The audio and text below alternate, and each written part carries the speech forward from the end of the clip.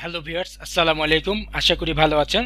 Technology ভিলেজের পক্ষ থেকে আপনাদেরকে স্বাগত জানাচ্ছি আমি নাজমুল সৌদ। আপনারা দেখছেন পিএসপির ধারাবাহিক টিউটোরিয়াল এ পর্বে দেখাবো কীভাবে আপনারা পিএসপির সাহায্যে ফাইল আপলোড করবেন। ফাইল আপলোড এটি খুবই গুরুত্বপূর্ণ একটি বিষয়। কারণ আপনারা যখন কোনো একটা ওয়েবসাইট তৈরি করবেন, তখন আপনাদের ওয়েবসাইটে ফাইল আপলোড করার প্রয়োজন হতে পারে। যেমন বিভিন্ন ধরনের ইমেজ ফাইল টেক্সট ফাইল বিভিন্ন ধরনের পিডিএফ ফাইল ইত্যাদি ফাইল আপনারা আপলোড করতে পারবেন। আমি এই টিউটোরিয়ালে দেখাবো কীভাবে ইমেজ ফাইল আপলোড করবেন এবং ইমেজ ফাইল নিয়ে কাজ করবেন। একই পদ্ধতি অনুসরণ করে আপনারা অন্যান্য ফাইলে আপলোড করতে পারবেন। আপনি যদি আমার এই চ্যানেলে নতুন হন, তাহলে চ্যানেলটি সাবস্ক্রাইব করুন এবং আপডেট ভিডিওগুলো পেতে বেল বাটন চাপুন। আপনি যদি ইমেজ আপলোড করতে চান, তাহলে আপনাদেরকে ফর্ম ব্যবহার করতে হবে। এইচটিএমএল ফর্ম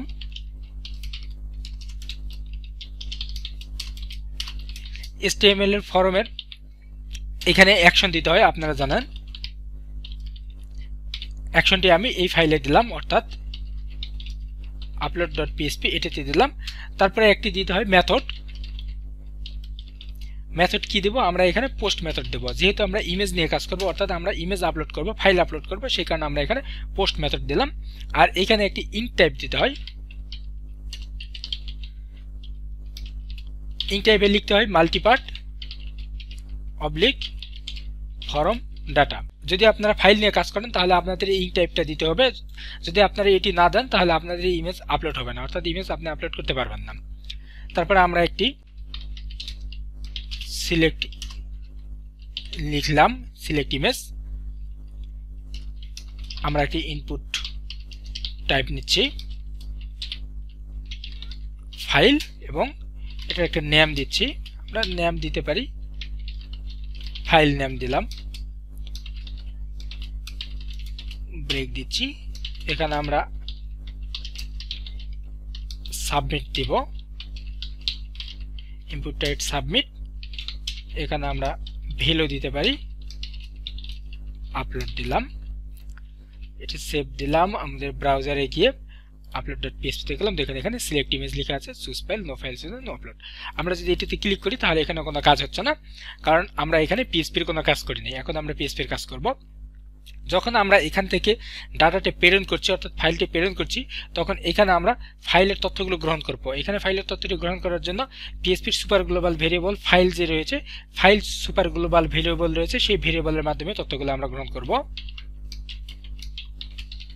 এটি হচ্ছে সেই ভেরিয়েবল এটি হচ্ছে অ্যারে হিসেবে কাজ করে। এখানে আমরা দুইটি বিষয় নিতে পারি।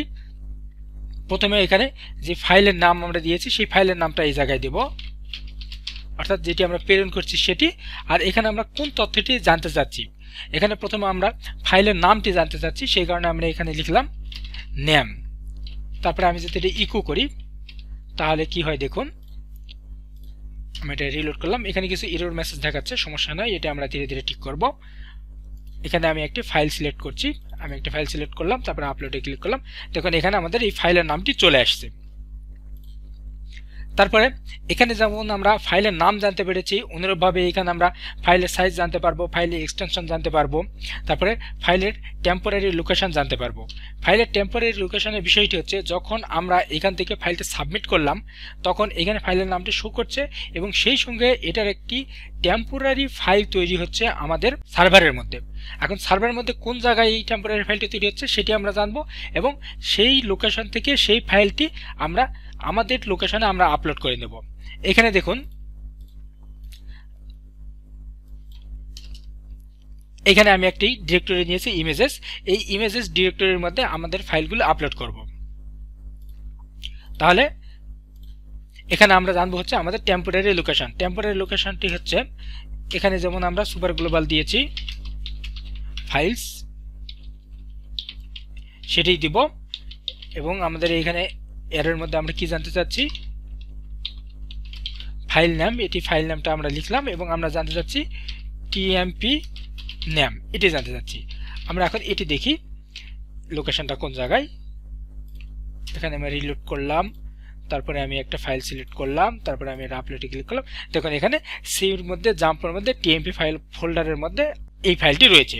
আমরা এখন এই লোকেশনটাকে আমাদের লোকেশনে নেব। তার আগে আমাদের এই প্রবলেমগুলো সলভ করি। আমাদের এখানে এরর মেসেজ দেখাচ্ছে। এইখানে সে বলছে, দেখুন এখানে বলছে যে এখানে আনডিফাইন ইন্ডেক্স ফাইল নাম ফাইল নামটি ইন্ডেক্স হয় নাই, সেই কারণে সেই বিষয়গুলো বলছে। বলছে, আমরা এখন এইখানে বলব, যতক্ষণ পর্যন্ত ফর্মটি সাবমিট করা হয় নাই, ততক্ষণ পর্যন্ত সে এখানে কাজ করবে না। অর্থাৎ ফর্মের তথ্যগুলো এখানে যতক্ষণ পর্যন্ত সেট হয় নাই, ততক্ষণ পর্যন্ত কাজ করবে না। তাহলে আমরা এখানে সাবমিটের এইটা একটা নাম দিতে পারি। আমি নেম দিলাম সাবমিটে দিলাম, তারপরে এখানে আমি লিখে দেব ইফ অর্থাৎ ইফ স্টেটমেন্টের মধ্যে বলে দিচ্ছি, যতক্ষণ পর্যন্ত এটি সেট হবে না। কোনটা সেট হবে না? ইসেট ফাংশনের মধ্যে লিখছি ডলার আন্ডার স্কোর পোস্ট আমাদের এই সাবমিটটা এটা যতক্ষণ পর্যন্ত সেট হয় না এই সাবমিটটা এখানে সেট হয় নাই। যতক্ষণ পর্যন্ত, ততক্ষণ পর্যন্ত সেই ভিতরে কাজগুলো করবে না। তাহলে আমি এটি রিলোড করছি। তাহলে দেখুন, এখানে আর এরর মেসেজ দেখাচ্ছে না, কিন্তু এখানে একটা ব্র্যাকেটের সমস্যা হয়েছে, ছয় নম্বর লাইনে এটা আমরা ঠিক করছি। এইখানে আমাদের একটা সেমিকলন দিতে ভুলে গিয়েছি, দিলাম। রিলোড করলাম। দেখুন, এখানে আমাদের সব কিছু ঠিকঠাক আছে, অর্থাৎ এরর মেসেজটা আর দেখাচ্ছে না। এখন আমরা এই দুটি বিষয়, দুটি ভেরিয়েবলের মধ্যে রাখছি। যেমন আমাদের এখানে ফাইল নামটা একটা ভেরিয়েবলের মধ্যে রাখলাম ফাইল নাম আর এটি আমরা রাখছি টিএমপি লোক এরকম একটা ভেরিয়েবলের মধ্যে রাখলাম ভেরিয়েবলের মধ্যে রাখলাম। তারপরে আমরা এখানে বলব, যদি এই ফাইল নামটি এমটি হয়, তাহলে সে একটা এক ধরনের কাজ করবে এবং এমটি না হলে আরেক ধরনের কাজ করবে। যেমন, এখানে আমরা ইফ স্টেটমেন্ট দিলাম। ইফ নট এমটি আমরা লিখি। যদি ফাইল নামটা এমটি না হয়, তাহলে সে এখানে বলে দিবে, ওকে লিখি আমরা আপাতত। আর এমটি যদি হয়, এখানে বলবে যে please select a file select a file লিখে দিলাম। তারপরে আমরা এটি রিলোড করছি। আমরা এখানে আপলোডে ক্লিক করলাম। দেখুন, এখানে সিলেক্ট ফাইল লেখা চলে আসছে। তারপরে আমি যদি এটি চুজ করি ফাইল চুজ করে আপলোড করলাম, দেখুন, ওকে লিখে আসছে। এখন আমরা বলব যে আমাদের এই টেম্পোরারি লোকেশন থেকে আমাদের লোকেশনে ফাইলটি চলে যাবে। তাহলে আমাদের লোকেশনটা কি সেটা এখানে লিখে দিতে হবে। এখানে দেখুন, আমার আপলোড ফাইলটি রয়েছে এই জায়গায়। তার পাশাপাশি একটি ডিরেক্টরি রয়েছে ফাইল রয়েছে ইমেজ আমরা এই ইমেজেস ফোল্ডারের মধ্যে, অর্থাৎ ডিরেক্টরির মধ্যে আমাদের ফাইলটি রাখব।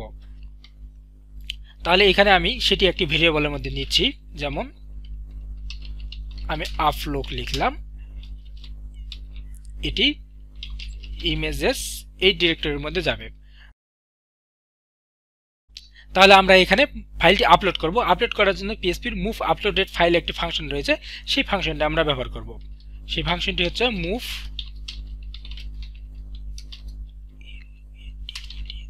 মুভ আপলোডেড ফাইল এই ফাংশনের মধ্যে কি করব? প্রথমে আমরা টেম্পোরারি লোকেশনটা দেব, তারপর আমাদের লোকেশনটা দেব এবং ফাইলের নামটি দেব। টেম্পোরারি লোকেশন হচ্ছে টিএমপি লোক এইটা। তারপরে একটি কোমা দেব। কোমা দেওয়ার পরে মানে এটা প্রথম প্যারামিটার, আর পরের প্যারামিটারটা হচ্ছে যে আমরা কোন লোকেশনে ফাইলটি আপলোড করব। আমরা আপলোড করব হচ্ছে আমাদের আপলোক এটার মধ্যে। তারপরে এইখানে আমাদের একটা ডট চিহ্ন দিয়ে আমাদের এই যে ফাইলের নামটি রয়েছে ফাইলের নামটি দিতে হবে। অর্থাৎ এই ফাইল নাম, এই এই নামের ফাইলটি আমাদের এই লোকেশনে আপলোড হবে। এখন আমরা দেখি এটি আমাদের কাজ হচ্ছে কিনা। আমি এটি আপলোডে গেলাম। আপলোডে ক্লিক করলাম। দেখেন এখানে সিলেক্ট ফাইল সিলেক্ট করতে বলছে। আমি এটিতে ক্লিক করলাম ফাইল সিলেক্ট করলাম, তারপরে আপলোড করলাম। এখানে কোনো মেসেজ আসছে না, কিন্তু আমরা দেখি আমাদের ফোল্ডারে গিয়ে আপলোড হয়েছে কিনা ইমেজ দেখালাম ইমেজ দেখে গেলাম। দেখুন এখানে এই যে বাদাম ডট জেপিজি আমাদের ফাইলটি ঠিকমতোই আপলোড হয়েছে। এভাবে আপনারা পিএসপির সাহায্যে আপনাদের ফোল্ডারে অর্থাৎ নির্দিষ্ট ডিরেক্টরিতে ফাইল আপলোড করতে পারেন। এ পর্বে আপনারা দেখলেন কীভাবে ফাইল আপলোড করবেন। পরবর্তীতে এর বিভিন্ন ধরনের সিকিউরিটি নিয়ে আমরা আলোচনা করব। অর্থাৎ এখানে আমাদের ফাইলের নামের পাশাপাশি এখানে ফাইল সাইজগুলো জানব এবং সেই নির্দিষ্ট সাইজ বলব যে এই সাইজের বেশি হলে ফাইল নেবে না ফাইলটা আপলোড হবে না। অথবা আমরা এখানে আরও কিছু, অনেক কিছু বলতে পারি। যেমন ফাইলের এক্সটেনশনটা ঠিক আছে কিনা। যদি জেপিজি হয়, শুধুমাত্র জেপিজি ইমেজ হলেই তাহলে ফাইলটি আপলোড নেবে, অন্য কোনো ফাইল আপলোড নেবে না। এছাড়া আরও ফাইল নিয়ে আরও বেশ কিছু কাজ রয়েছে সিকিউরিটি সংক্রান্ত। সেগুলো আমরা পরবর্তী টিউটোরিয়ালে আলোচনা করব। এ পর্বে আপনারা কীভাবে পিএসপির সাহায্যে ফাইল আপলোড করবেন, সেটি জানলেন। টিউটোরিয়ালটি যদি আপনার ভালো লাগে, তাহলে লাইক করুন এবং শেয়ার করে অন্যদেরকে দেখতে সহায়তা করুন। আপনি যদি আমার চ্যানেলে নতুন হন, তাহলে চ্যানেলটি সাবস্ক্রাইব করুন এবং আপডেট ভিডিওগুলো পেতে বেল বাটন চাপুন। টিউটোরিয়াল সম্পর্কে আপনার কোনো মন্তব্য থাকলে তা কমেন্ট বক্সে লিখুন। পরবর্তী টিউটোরিয়াল দেখার আমন্ত্রণ জানিয়ে এখানে শেষ করছি। ধন্যবাদ।